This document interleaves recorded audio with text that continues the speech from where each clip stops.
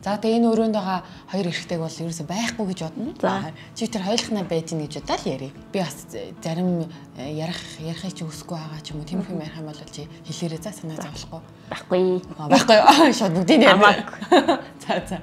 Намайг бол хүмүүс янз бүрээр хэлчихсэн. Аа нэг хүн болохоор бүр хүний үлдэц тий үхээч гэд нэг тийм комент нэг ирчихсэн. Тэгээ би яана хөөрхийн хүн ийм юм хэлээд өөрөө одоо өөр хүүхэдтэй болоод ханижилтэй болвол яаж амьдрах болоо бити ийм хатуу байгаасаа гэж бодчихсон. Хүн юу хэлнэ яг л тэрүүгээрээ өөрөө өөртөө тэрийг дуудаад байгаа ах гэж би боддог байхгүй юу?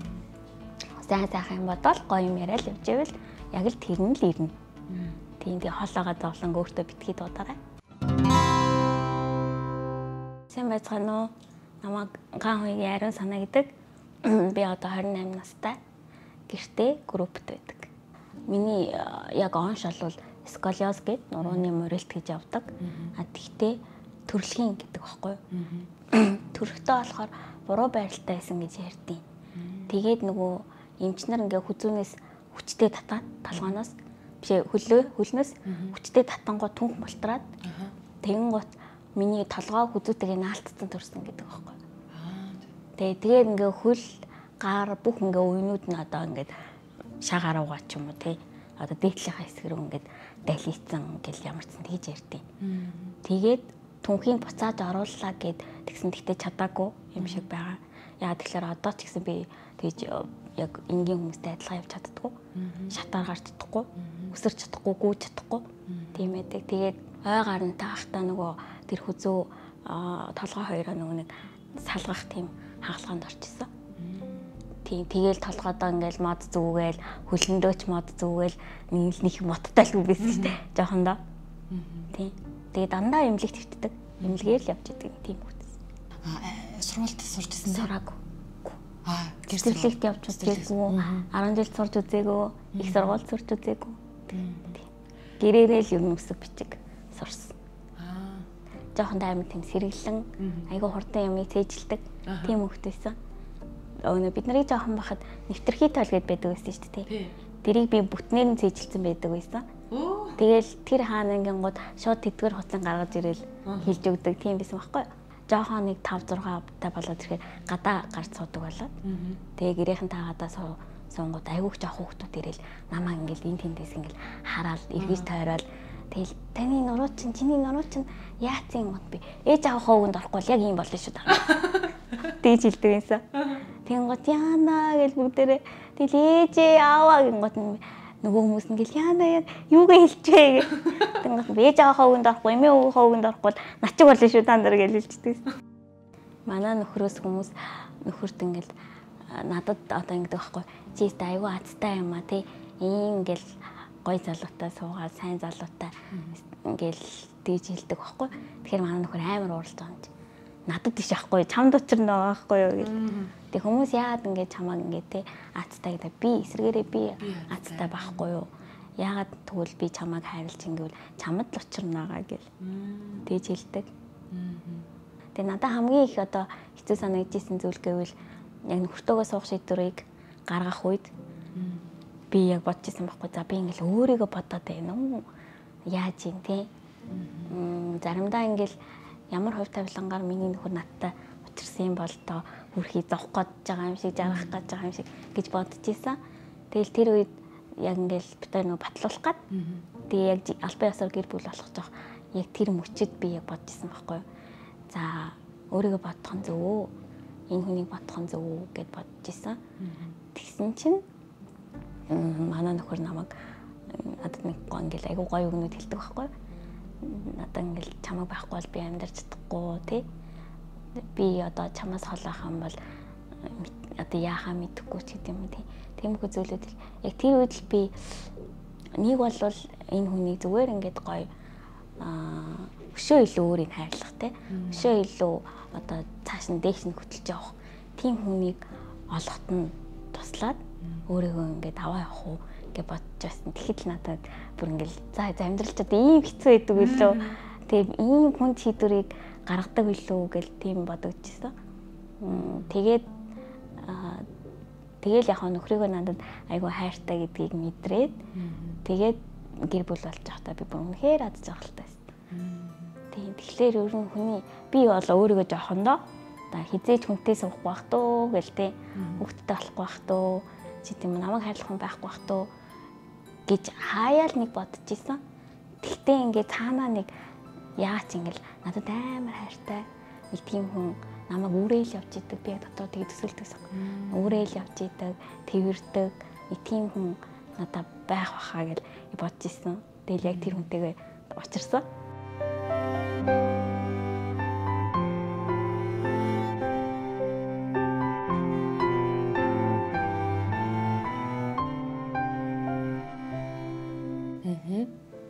За, харин э, санаа маань өмнө нь хосын жард орж исэн тий. Тэрүүгээрээ би тэгэд одоо ингээ эртний танилуд амдууд болсон. Тэгээд хэдэн он юу лээ? 2019 оны холоо хосын жард хизээ орж илаа. 18 онд орсон тий. Тийм 8 оны. Тэгээ тэрнээс ч бас цаг хугацаа ямар хурд юм бэ? 19 2 жил бараг болох гэж шүү дээ. Танаа хүн амлалтандаа хүрч гин үү? Хിവэрээ явж байгаа. Яг л хэлснээрээ явж байгаа. Одоо та хоёр чинь хэдэн жил болж байгаа вэ? 9 дэх жил рүүгээ ороо байгаа. Танай гэр бүлийн чамайг маш гоё хүмүүжүүлж өсгөж өгсөн. А хэрвээ өөр хин нэгэнд байгаад аав ээж нь үргэлж хүүхдийн өсөлцөөр өсөл эрмэлзлийг унтраадаг эсвэл энэ амьдрал чинь хэцүү зовлонтой хар бараан хастай энэ амьдрал бол ийм жизтэй чадахгүй ингэхгүй гэл ингэж өсгсөн бол магадгүй сэтгэл санаа нь шаал өөр хин нэгэн бодж өсөх байсан тий. Тэгэхээр бидний ээж аав юу гэж бид нарыг хүмүүжүүлэх биднэрт ямар сургаалыг айлдаж өсгөх нь төдий чинийгээр бид нэр цаашаа хүсэж тэмүүлж мөрөөдөж амьдралаа өөрөө ингэж босгож бүтээж. Тэр сайхан амьдрал байгаа гэдэгт итгэлтэйгээр тий болт юм аа. Болж л таарна гэсэн тэр гоё зоригтойгоо явах юм шүү дээ. Манай эми бүр ингэж хэлдэг шүү дээ. Одоо миний нурч ингэж юм бүхтөр байхгүй юу? Тэнгууд манай эми чам дутуу зүйл ахгүй. Бүр илүү юм байгаа гэл энэ энүүгээр ингэж ярьдаг. Бүр илүү байгаа байхгүй дутуу зүйл бол байхгүй. Тэгэхээр ингэж айгуу гоё өөдрөг байх хэрэгтэй. Тэгчихсэн. Тэгэл яг бод хүн ингээл баян гинүүдийг хэлээд тахаар хүний тэгэл тархинд цуудаг байх л та. Нэрэл тийштэй, нэрэл гоё штий гэл нэг тийг бодогдт юм бэл гэр бүлийнхандаа нөхөртөө нөхрийнхөө аав ээжэд би маш их баярлалаа гэж хэлнэ. Намайг хайрласны хүчинд би өнөөдрийн одоо өөрөөрөө яг уу би тийм амар одоо юу гэдгийг боловсралтай тий хилтэй тийм биш л те. Гэхдээ би өөрөө өөртөө маш их аз жаргалтай байдаг, хайртай. Тийм тэгэхээр гэрээхэндээ би бүр маш их хайртай шүү дандаа баярлж явдаг. Миний сайн сайхан амьдралын үндэс нь бол та бүхэн шүү л гэж хэлье.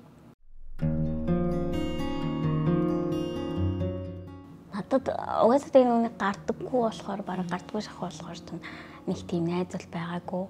Тэгээл нөгөө нэг дөнгөж гар утас байж эхэлсэн шүү дээ. Орж ирээл тэр үед чинь би нэг Nokia барьдаг байсан. Тэгээ би нөгөө Бээжин тас нэг хагалгаанд нэг эмчид үзүүлэх гээд намайг нөгөө чамаа ингээ имчилж болох юм байна. Тэгээ идэх идэх юм байх шүү гэд нэг тийм хариу ирээд тэгэхээр амар баярлаа. За хэвээр амар хүн дагалгаанд орох юм биш юм шүү гэд явсан чинь үгүй байсан байхгүй худлаасан. Тэгээд үгүй мэнэ болохгүй мэнэ гэд тэгээд тэр үед би нэг фейсбુક нийтсэн. Анх удаага. Тэгэл тэрүүгээр эхлээд эмгтэй найзтай болоод, эрэгтэй найзтай болоод юм бичдэг болоод Гэтэ би өөрөөсөө тэгэж өөрөөсөө санаа зовч ч юм уу тэгж байгаагүй. Дандаа бүгдэнд би сурдгүй штэ. Би тийм штэ гэж дандаа хэлцдэг. Нэг л худлаа яриад байгаа юм шиг санагдаа хэлэхгүй болвол нэг тийм хуурам юм шиг санагдаад тэгээ дандаа үнэнгээ хэлцдэг. Тэгэл ер нь одоо надаа 2 3 найз идэг. Яг тэр үеэс гэвэл санаа маань үнэхээр мундаг бичдэг арай нэг энгийн нөө бичдэг хүнээс илүү нэг тийм өөр байдаг. Тийм мэдрэмжтэй байж байгаа байхгүй тий. Та хоёрын нөгөө нэг анх танилцчихсэн тухай би нэг онлайнаар яг хамгийн анх хосон жирд оруулахаас өмнө онлайнаар та хоёр чиний бичсэн та хоёрын танилцчихсан түүхийн тухай уншсан чинь ингээл нүдэнд бүх процесс харагдтал өвчтсөн. Аха. Тэгэл амар бичих тийм чадвартай. Аюу тийм өөрийгөө бичгээр ойлгох чадвартай санагдчихсан байхгүй юу? Тэрийг бас ингээ урамшуулъя те. Ч хүн болгонд байдгүй тэр чадвар учраас. Одоо чиний ярианаас ингээ анзаардаг байгаа зүйл болохоор зарим хүмүүс л болохоор ингээд өмнө нь ингээд ямар нэгэн өвчин зовлонгүй байжгаад дараад нь ямар нэг өвчин тусангууд тэрийг амар хүн дээр хүлээж авдаг ч юм уу те. Сэтгэлийн тэнхээ их муутай байдгаас болоод магадгүй тэр өвчнийг илүү хөндрүүлдэг чинь тийм юм их анзаарагдаад байдаг. Тэгээд чи өөрөө бас нэг өмнө мессенжер дээр ярьжсэн ингээ өвдөлтөд өгдөг ийм хэцүү үнүүд байдаг гэж ярьжсэн. Тэгсэрнээсээ ингээ ингээ үедээ зөв зөв энийгэл яриад а явхад хүртэл хэцүү байгаа гэд бас өмнө чи явсаар хат хэлжсэн тийм. Тэгэхэд өнөөдөр ингээд бас юу ч болоогүй юм шиг энийгэл орж ирээд энэ бүхнийг харахаар ингээд аюу мондаг сэтгэлийн одоо төвчээртэй. Дээрээс нь бас бид нэр бас чамаас энэ тал дээр бас суралцах хэрэгтэй юм шиг санагдаад байгаа байхгүй. Жохон бахад яг манай гэрийнхэн хэлдэг байсан л та.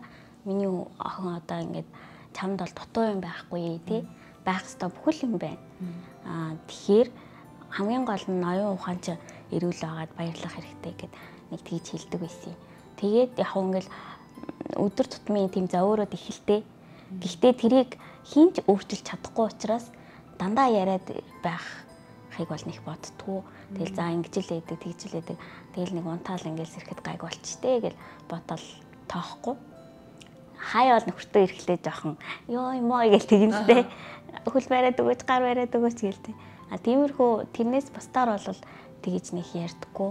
Тэгээ сэтгэлийн тэнхээгийн хувьд гэвэл а гэрээхэндээ би амар их баярлагдав. Намайг ингээд би хэрвээ өөр айлт те энэ гэрээхэндээ биш өөр айл төссөн бол би магадгүй амьд байхгүй байсан баг гэж боддгийн өөрийгөө. Тэгэхээр энэ олон хүмүүсийн хайранд тусчод тэгээ би ингээд надаа хэцүү байна. Би гутарж гин. Би яагаад ийм юм те яагаад заавал би ч гэдэм үү би өөрсдөө гэж бодож байгаагүй. Эсвэргээрээ би баярлагдав. Би харж чадчихээн, бодож чадчихээн, хүмүүсийг мэдэрч чадчихээн. Тэгэл ярахыг хүсэн юм аярж гин Тэгээ надаас хэцүү хүмүүс бас зөндөө байгаа. Тэднэрт маань тэгсэн надад байхгүй зүйл байгаа. Тэднэрт байхгүй зүйл надад байгаа гэдэг. Тийм. Тэгэхээр ер нь бол өөрийнхөө байж байгаадаа юу сэтгэл хангалуул үүдээ шүү дээ. Йоо ямар мондөг юм бэ бидний нөгөө ботж байгаагүй зүйлийг маш гоё зүйлийг нэр бид нар чинь ингээд ээж аавынхаа хайрын донд умбаж өсчөөд эргүүлээд ээж авдаа ингээл би тэгсэн ингэсэн ингээл нэг алфтайм шиг ингээл уурлаа тий. Тиймэрхэнүүд амар ханзаардаг шүү дээ. Тийм. Гол дортол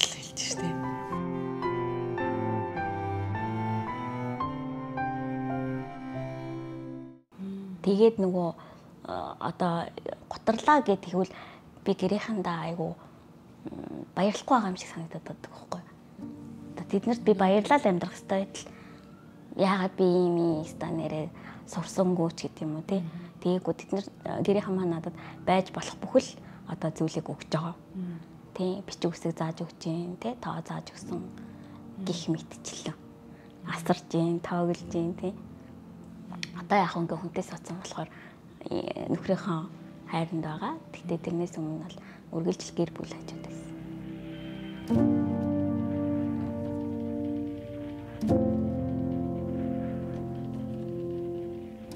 Үеийнхэнтэйгээ өөрийгөө харьцуулах тий тэр ингэж амьдарч хахад би ингэж जैन тэр одоо машинтай хаад би машингүй юм гэдэг юм уу. Ингээл дандаа өөрийгөө бусдад харьцуулаад нэг тийм сэтгэл дундуур тэгээд одоо ээж аваахаа ч юм уу эмээ өгөхөө гэрийнхнийхээ ачиг хариулна гэж ярьдаг штеп. А тэрийг бол би зүгээр л өөрийгөө айгуу гоё авч явах тий. Сэтгэл хангалуун аз жаргалтай цаанаасаа тайван тийм байвал л гэрийнхнийхээ ачиг хариулах байх гэж боддог байхгүй юу. Тэгээ одооны энэ зүгээр бидний үеийнхэн болохоор хитрхи их юм хүсдэг. Тэгээ өнгөнд айгүйх дуртай юм шиг санагдаад байдаг хаяа. Тэгээ тэрнээсээ болоод ингээл юм болгон чинь сайнтай муутай тий. Тэгэхээр би болохоор ингэж хардаг байхгүй. Айгүй их тийм сэтгэлийн тэнхээ байхгүй. Бид нэр өөртөө амар их стрессийг бий болгоод өөрөөсөө амьдрал зовлон бий болгоод тэгээ тэр зовлондоо өөртөө бүдрээд тийм унаад идэх юм байна л да. Орчлон дээр одоо ойр ганцаараа гэж ярьдаг тий. Гав ганцаараа байвал тэр хүнд мэдээж хэцүү тий. Тэг хажууд нь хин нэг юм байж л байдаг. Найз тий аа гэр бүл эсвэл нөхөр ихнэр хүүхэд гэх хин нэг юм заавал байждаг хүн хизээж ганцаараа гэж байгаа. Тийм тэгэхээр тэр хүмүүстэй ч гэсэн баярлаад өөрөө өөрийгөө аз жаргалтай байлгаж сурах хэрэгтэй ах гэж бодож байна. Боддог. Оо энэ тест хамгийн гоё үг. Өөрөө өөрийгөө л аз жаргалтай байлгаж сурах хэрэгтэй.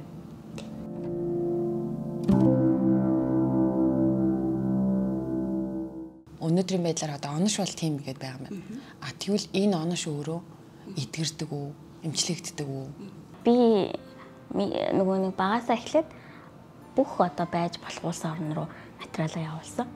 Одоо Солонгос, Япон, Англи, Америк, Хятад, тэ Герман гих мэтчлээ. Тэгээ бүгднгээс нь ер нь бол хариу дандаа боломжгүй гэдэг хариу ирсэн. Монголд бол бүр ямар ч имчилгээ авахгүй. Наад одоо өдөр тутмын за өөрөд дээр ч хүртэл имчилгээ гэдэг гих юм бараг байхгүй. Тэгээ би сая өнгөрсөн жилийн амар нэг юм санаанд байж байгаа нэг группт ороод тэгсэн чинь надтай ижилхэн за нэг 30 хэд хүн байдгийг мэдсэн. Аа за. Тэгээ яг адилхан биетэй, яг адилхан нуруутай Тэгэл хэлбэр дүрстэй ингээл араасаа бол яг би ч юм шиг тэгж харагдахаар хүмүүс зөндөө байсан.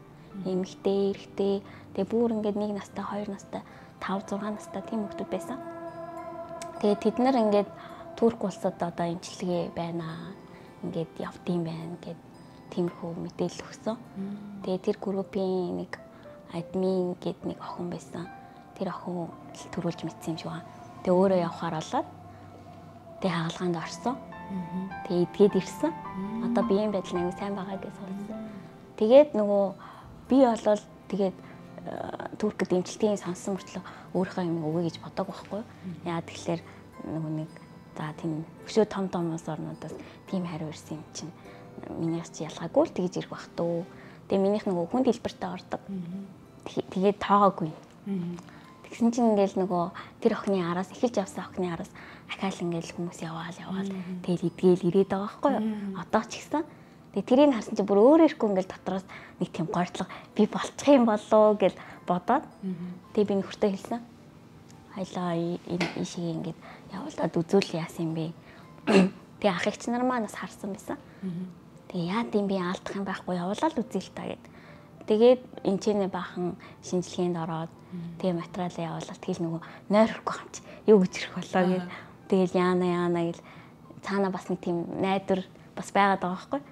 Тэгээ ирсэн чинь болно гэл иртий. Бүр ингээл салгалаа зүрх мөрөг чинь ахын болж юм чи.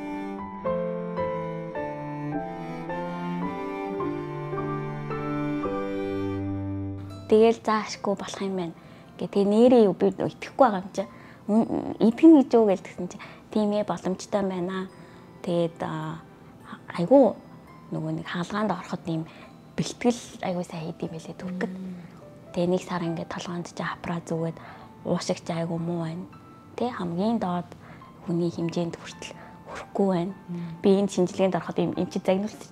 Үлээгээч гэл намайг. За би чадахгүй байгаа юм чи. Тэгээ би яна миний чадж байгаа л энэ байна гэсэн чи ямар сони ингээл дэгжсэн. Тэгээд тэр муу л байгаа юм л да. Тэгээ болж өгвөл эртгөө ороорой гэдэг тийм ирсэн. Тэгээд 2 жилийн хугацаанд гэвэл эдгэн гэсэн хариу авсан. Ямар гоё. Хүн амьд байна гэдэг чинь хамгийн том аз завшаа.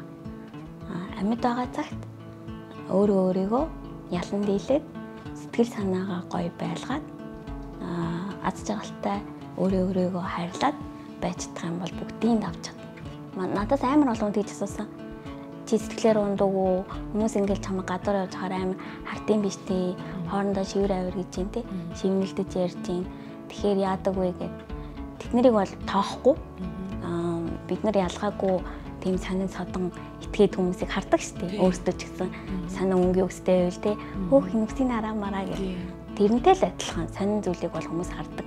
Гэхдээ аав ээжүүд одоо хороо дэлхий дээр янз бүрийн хэлбэр дүрстэй тэгээ бусдаас өндөр бусдаас жижигхэн тийм хүмүүс байдаг шүү гэдгийг сайн хэлж өгч явах хэрэгтэй.